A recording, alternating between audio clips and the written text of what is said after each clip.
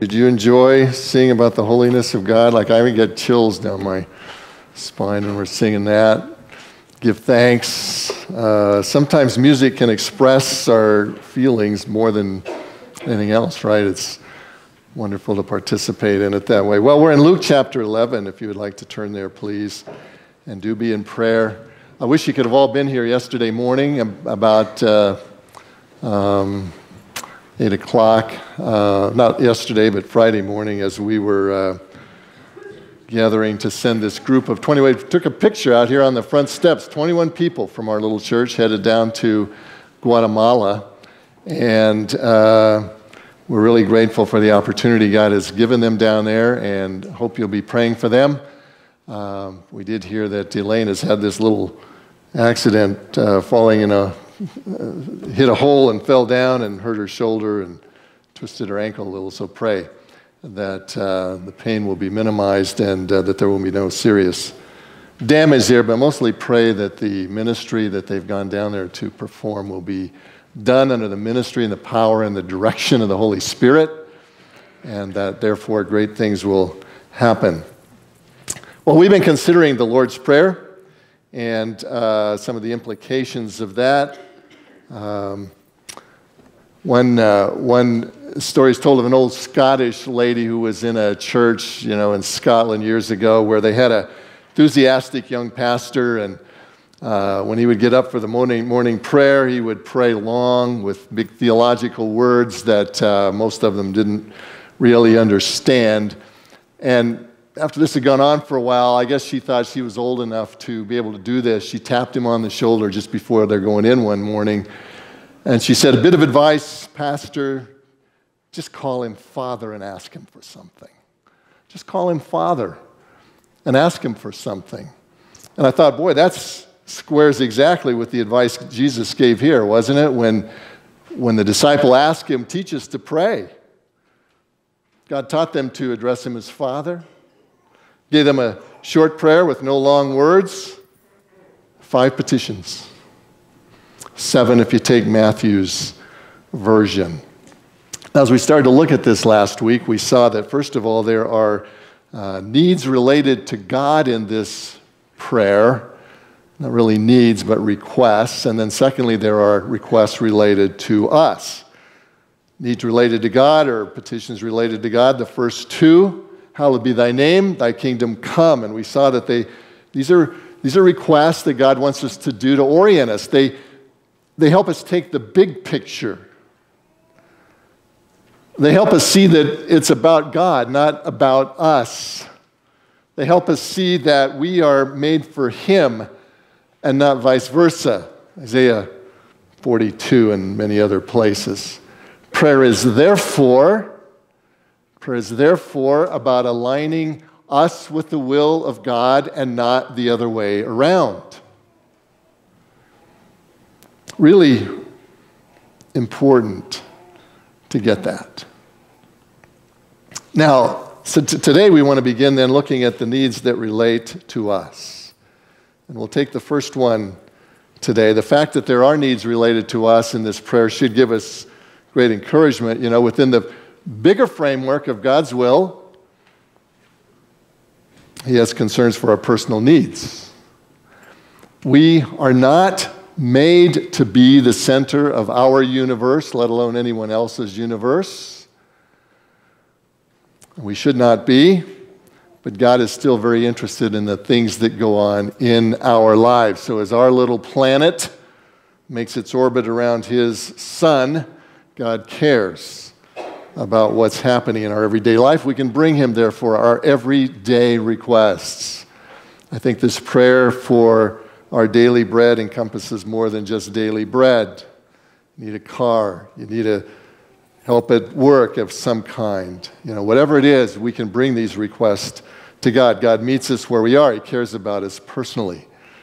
And so let's look at this. Give us each day our daily bread. Simple request, right? Enough food for the day. And I believe by extension, he's talking about all of our physical needs. It's not just limited to our daily bread. This is here to represent the totality of our physical needs. Notice I said needs, not all of our physical desires, but our needs.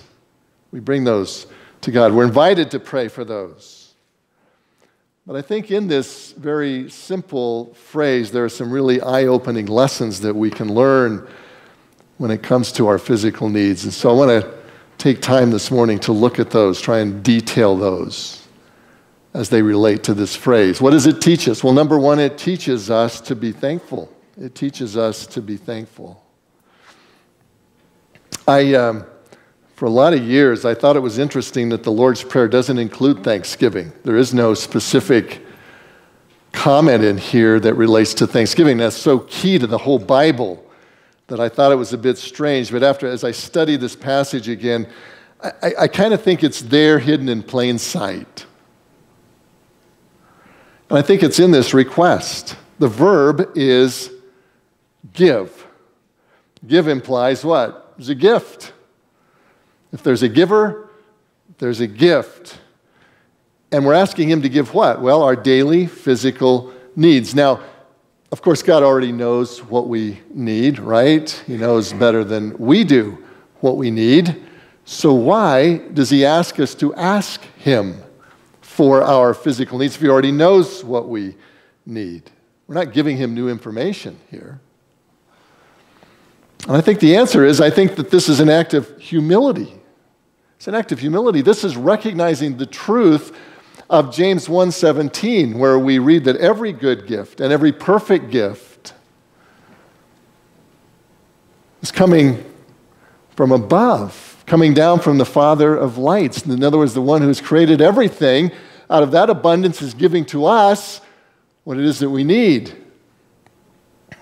You have to humble yourself to come there, to recognize and to acknowledge that He is the source of all things, but that's what He would like us to do. And so, my asking is that once it's an act of humility, and I think also implied in that it's an act of thanksgiving.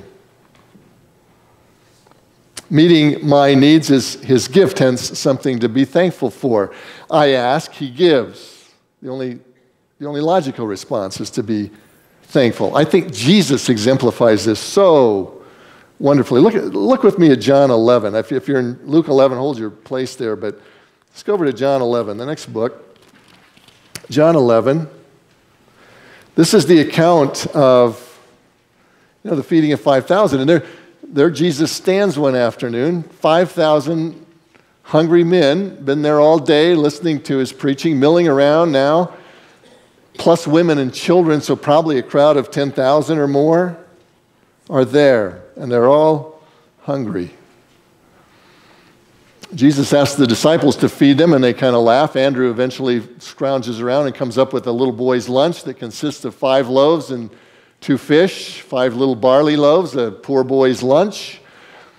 That's all he can find, so he brings that to Jesus. What would you have done? I'll tell you what, on my best day, on my, on my absolutely best day, I'd have been desperately praying for more, wouldn't you? Desperately. How am I going to feed 10,000 people, five loaves and two fish? Look what Jesus did. John 6, verse 11. Jesus then took the loaves, and when he had given thanks, he distributed them to those who were seated. Now, keep in mind, Jesus is acting in his human nature. It's the way he lived life here on earth. He takes these loaves, they're all that could be found, and he gives thanks for five rolls and two sardine sized fish. Why? Because he trusted the Father, trusted him imminently trusted him completely. He said, If that's what the Lord has given me, it must be enough. Well, there's a tremendous lesson there. And the lesson is this gratitude for what we already have is the starting point to unleash the power of God. Gratitude for what we already have is the starting point to unleash the power of God, to provide whatever it is that we need. But we have to start with are you thankful for what you've already got? That's the attitude suggested in Give Us This Day, our daily bread. Secondly, I think it teaches us to be dependent. This little phrase teaches us to be dependent. Give us each day our daily bread. Nobody wants to be dependent, do they? It's, you know what? It's un American to be dependent. We're taught from the time we're kids, right? Take care of yourself, take care of your own. But think about this. The one physical need that Jesus picks on here to illustrate, really, I think, all of our physical needs is what? Give us this day our daily bread. I mean, it doesn't get any more basic than that, right? It doesn't get any more basic than that. Daily bread is what we are to pray for. And the fact that Jesus urges us to pray for it suggests something, which is what? Well, it suggests that we can't do it on our own. It implies that we are inadequate for our most basic need.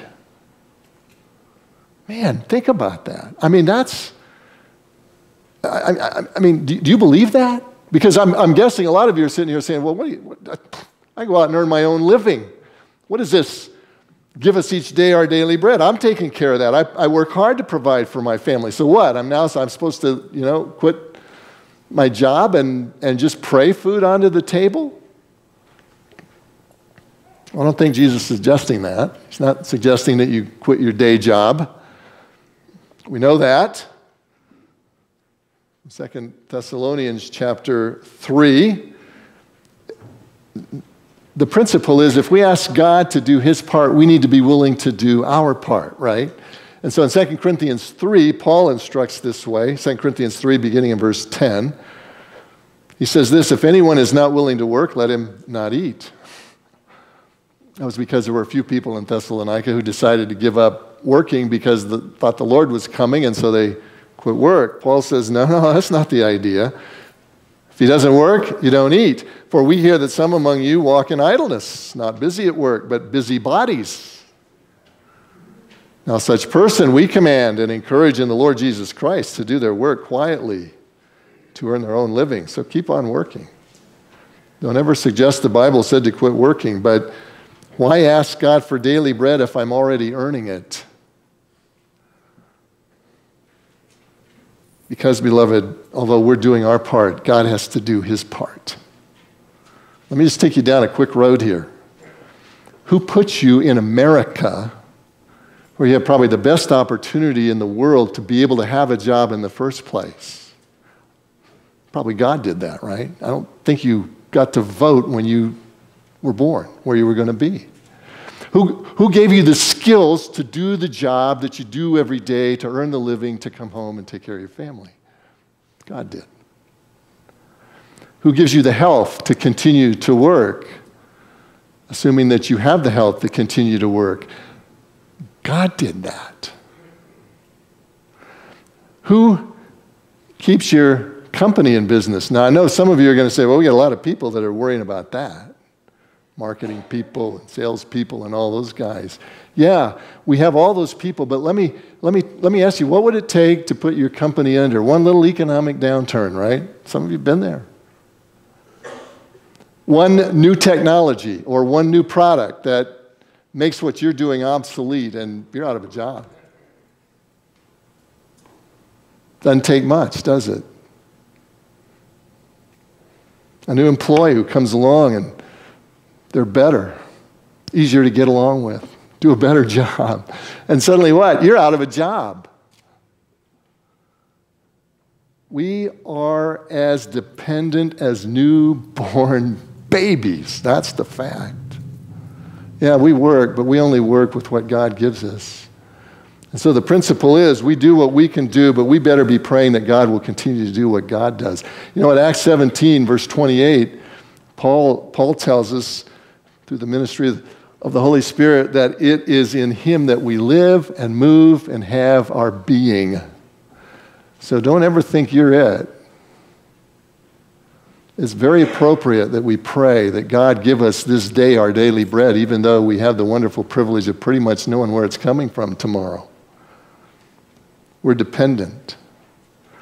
Turn with me to Exodus 16. Second book in the Bible, so easy to find, right? Exodus 16.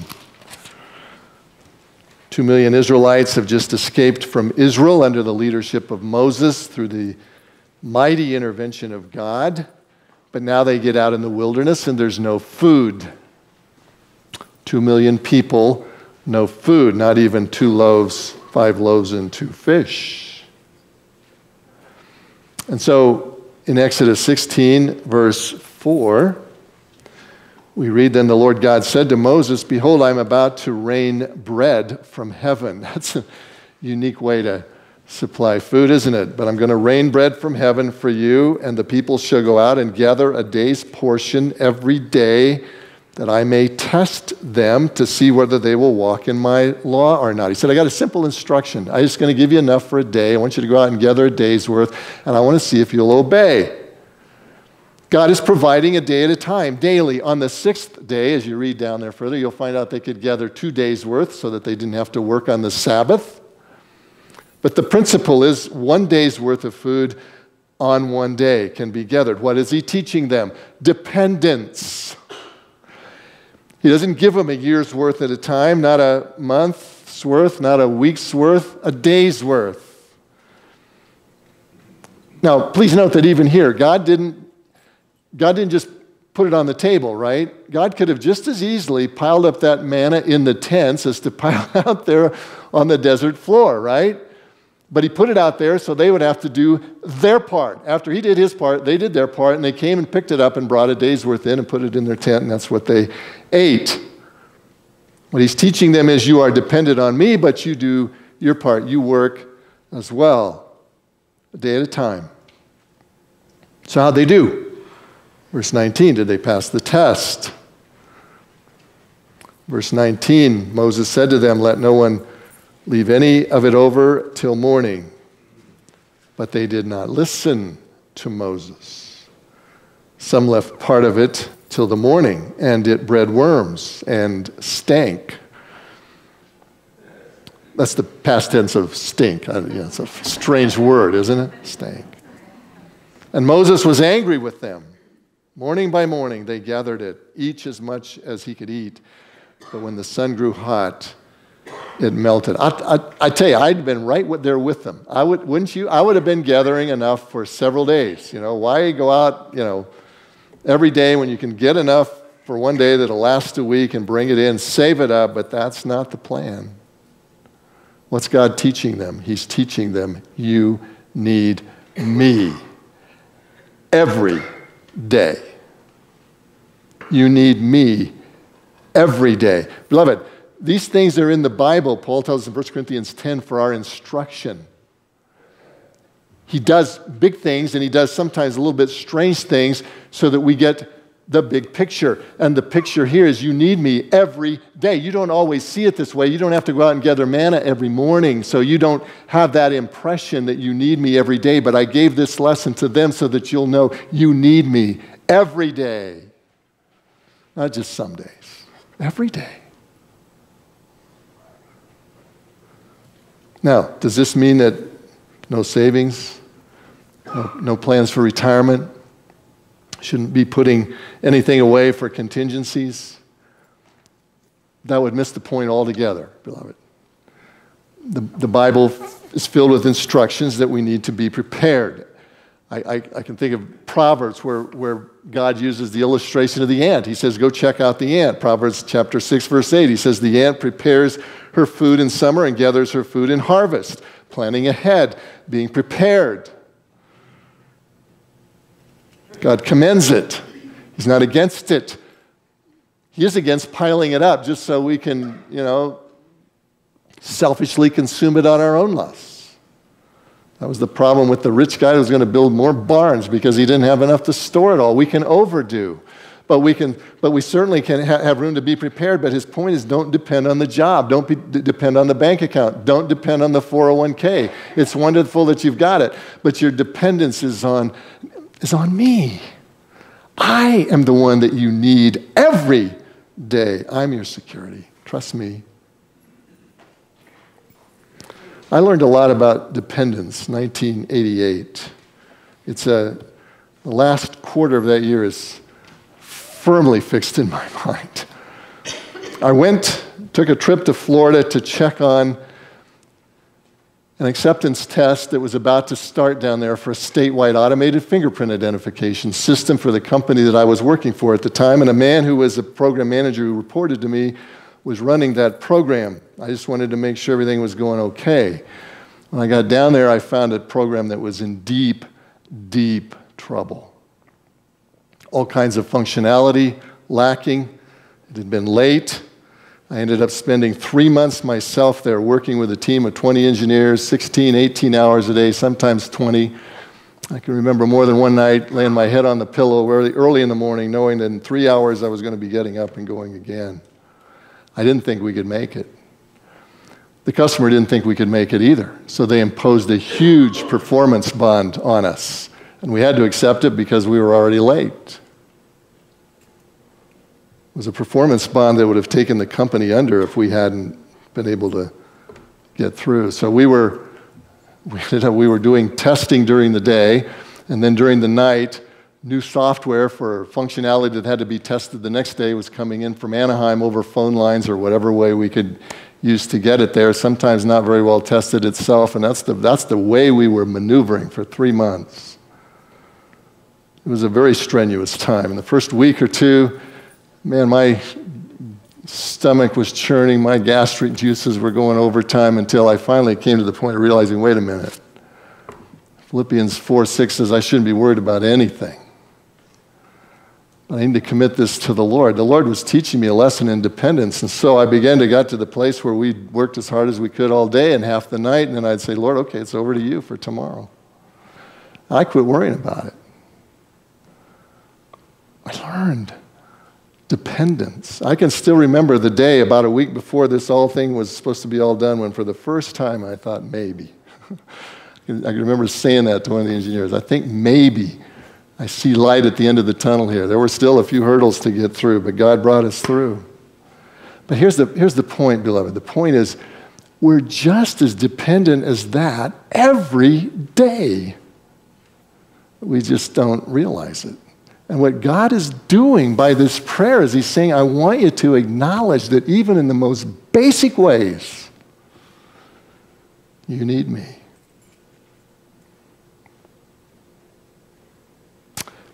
Thirdly, it teaches us to be trusting, right? You say, well, isn't dependence and trust, aren't they the same thing? And I think not really. You can be dependent but not be trusting. You, your life could be characterized by constant anxiety. You're dependent but trembling, and God wants you to be dependent but trusting. Two different things, right? So, so He wants us to be not only dependent, but He wants us to be trusting in Him. Give us each day our daily bread. Now, there's an obvious question in that phrase that usually gets skipped right over. And the question is this why does Jesus say each day, and then he goes on to say daily? Wouldn't one or the other be sufficient? Why does he use two phrases here? And the answer to that question hinges on the word daily, the word daily. It's the Greek word epiousios. Epiousios. It's a difficult word because it's not found anywhere else in the Greek language. And I, don't mean just in the, it's not found anywhere else in the New Testament. It's not found in any Greek documents that we have dating from that time at all.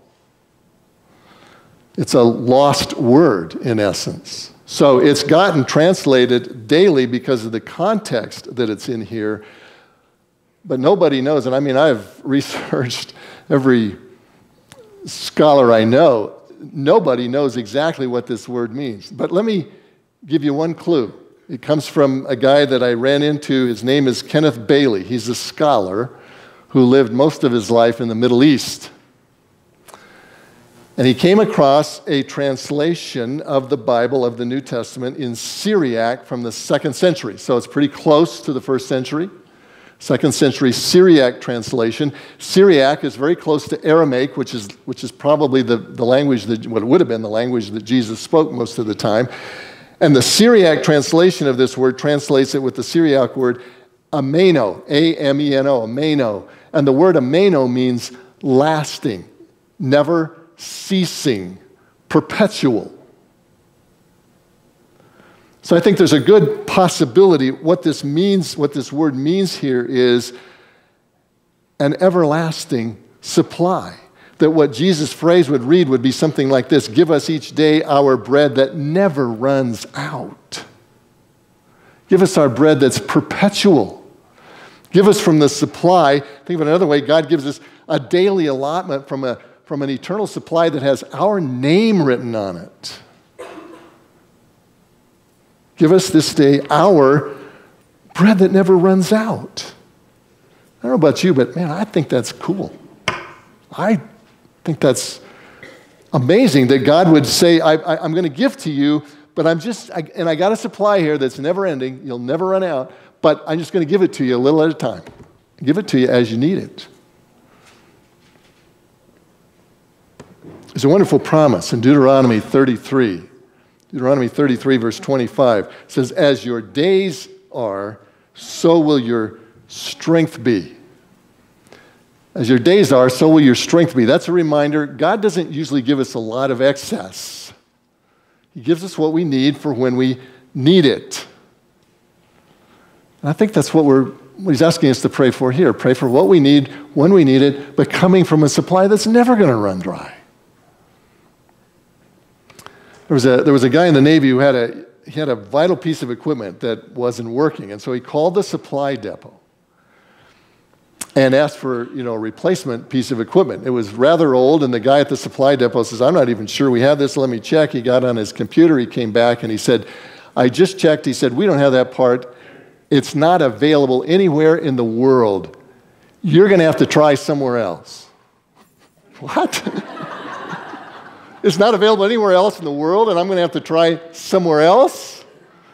That would be a problem if you were a Navy guy. But for, for the believer, beloved, it's no problem. You have a supply depot outside this world that never runs out. God has every need supplied. It's all built up, it's all there. It's just a question of asking for it. So God is saying, Trust me, got an unending supply. Fourth thing this passage teaches us I think it teaches us to be content. I think it teaches us to be content.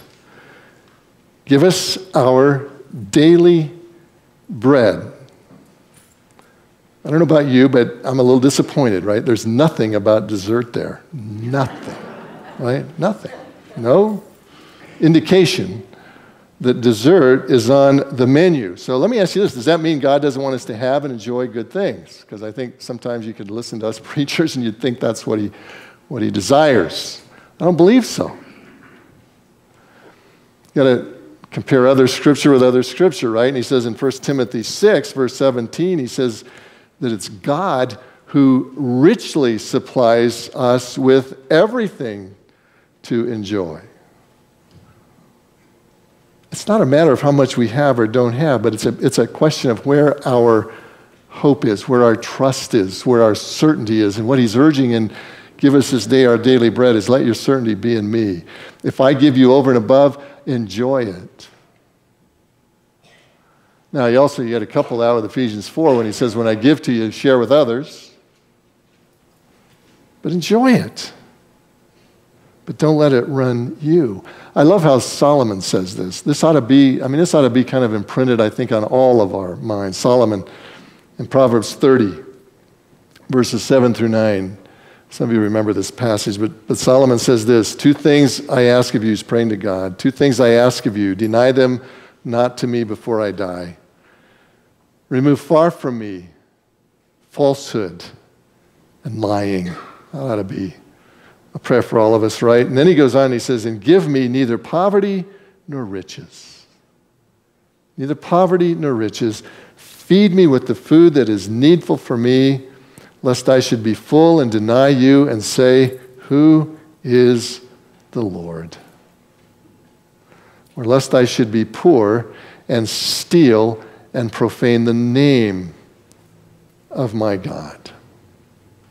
That's exactly the spirit of Jesus' prayer, encouraging us to ask the Lord for our daily needs, but seeing the danger in wanting beyond that.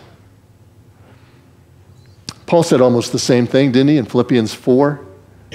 Remember that passage in Philippians 4, verses 11 and 12, where he says, I have learned in whatever situation I am to be content. I know how to be brought low and I know how to abound. In any and every circumstance, I've learned the secret of facing plenty and hunger, abundance and need. I, you know, whatever the Lord gives me is good with me. Sometimes I've had a lot, sometimes I've had little, sometimes I've been in palaces, sometimes I've been lying on the road left for dead. Contentment allows us to focus on the things that really matter. And it's implied in this give us each day our daily bread. Let us focus on things that really matter. You know, I think there's a lot of misunderstanding about contentment, however. You know, sometimes we think, okay, contentment. So I'm supposed to be content, should never have any ambition, right? Does that mean a lack of ambition? Some people would suggest, you know, that to seek advancement, to seek improvement, a new or better job or what else, you shouldn't do that. Is that, is that what contentment means? I don't, I don't think that's what it means, beloved. Here's the question that we must always ask of our ambition Do I desire this? And do I want this? And do I have this ambition in order to further the mission that God's made me for? Or do I desire this to consume it on my own personal lusts? Which James assures us is a prayer the Lord will not answer, right? What's the motivation? To desire to be the best you can be in order to accomplish what God has asked you to do is a wonderful ambition.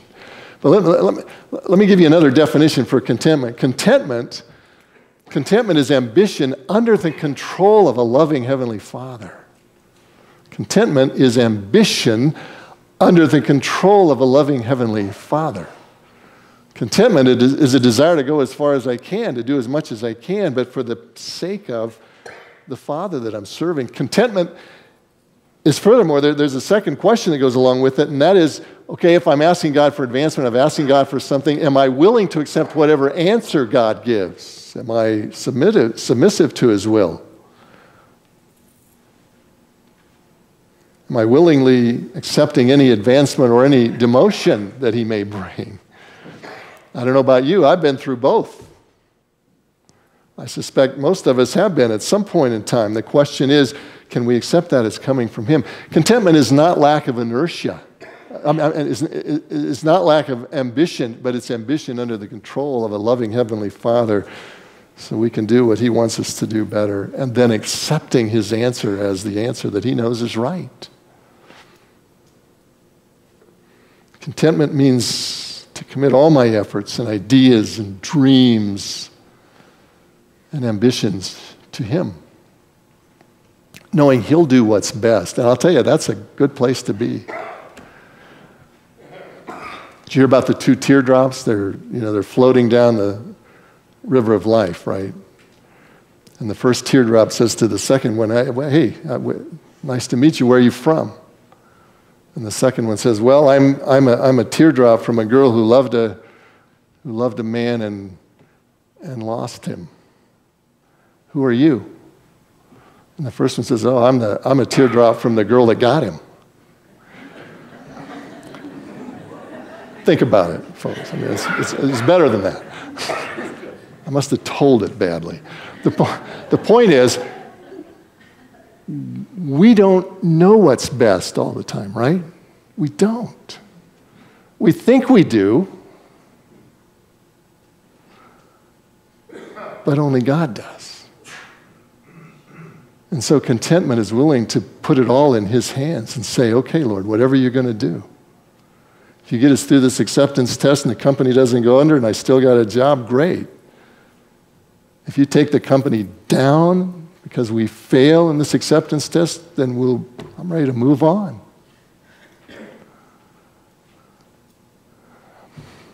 Hard things come sometimes in life, right?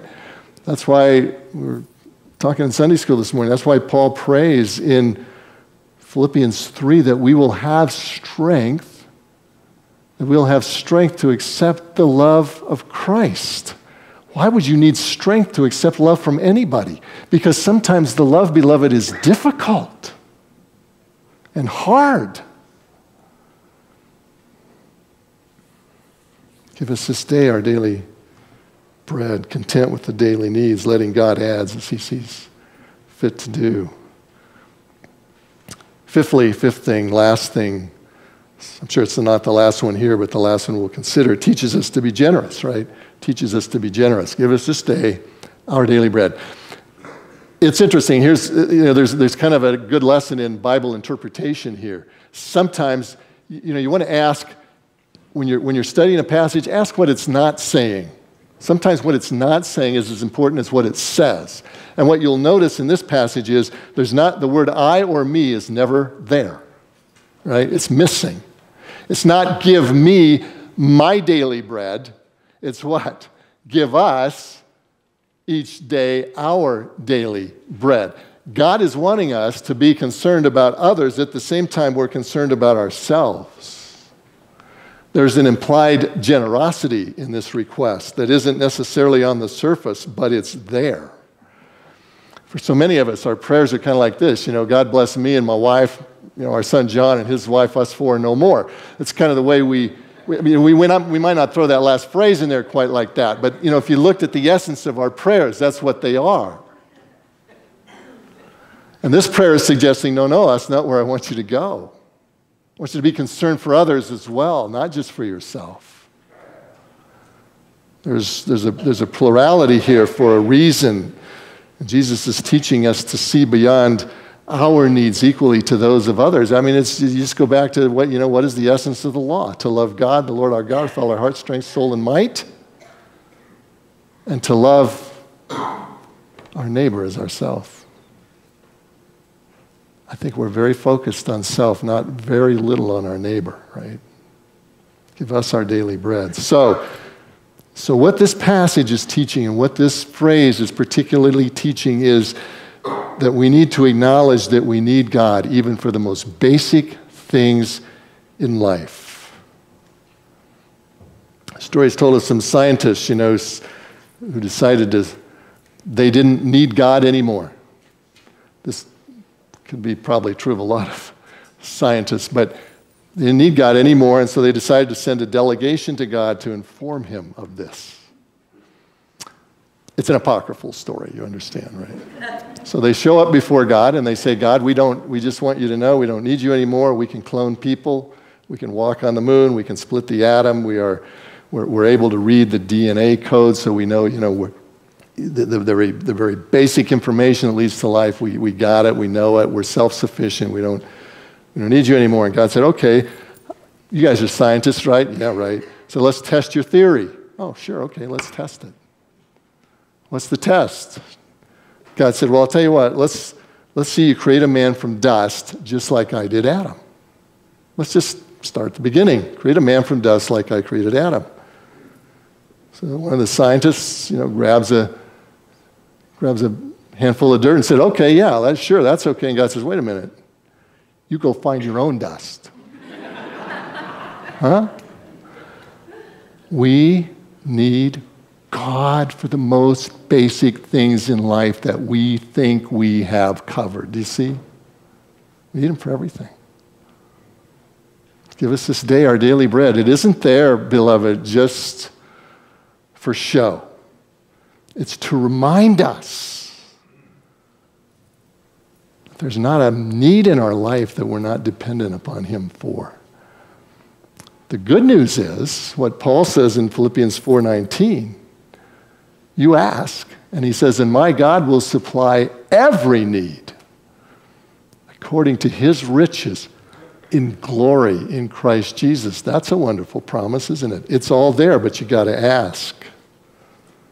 These riches are more than we'll ever need. I, I think of this, you could give a million accounts of this, but Paul Miller in his little book, a Life of Prayer, it's a wonderful book if you haven't read it. Paul Miller, A Life of Prayer. He tells how once in his life he and his wife Jill ran out of bread. They were in college at the, sem- at the time, seminary actually, and he was supporting his wife and a daughter.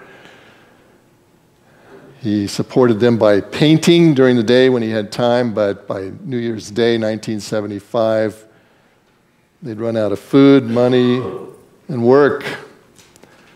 They had sold, you know, all their jewelry, anything they had that was of any value, their books. He said they had even sold their high school rings. I can't imagine how much that would have brought, but they had sold everything. He said, having done everything we could, we sat down to the last meal, New Year's night. 1975. We thanked the Lord for that meal and then prayed for daily bread the next day. He said we had no more stopped praying than the phone rang. And a woman said, I need you to come and paint tomorrow. So the next day he showed up ready to go to work, but he told her how she was God's answer to his prayer. And, and she said, Oh, maybe you need to be paid in advance. And she gave him advance payment. Beloved, it's that. It's that wonderful? That's the promise that God gives us. That's what He's asking us to pray for. That's the kind of dependence that He wants us to be living with. That's the recipe. Do what you can, but trust God to meet your needs. And guess what? He will. He will. Let's pray. Father, we thank you for the for this word. We thank you for the uh, encouragement that it gives assures us that you are interested in our needs. But Lord, I think it goes way, way deeper than that. I think you're asking us to pray for those daily needs, the most basic, the thing that we think we've got most easily covered. You're asking us to pray for that to remind us you don't have anything covered. Without you, we don't have anything covered. And so it puts us Lord, where we belong in the grand scheme of things, dependent on a Heavenly Father who thankfully loves us and will supply every need according to his riches and glory in Christ Jesus. Thank you for that assurance. Thank you for reminding us that that's how we need to pray, because we surely need that reminder. Help us to go and put this into practice, I pray in Jesus' name. Amen.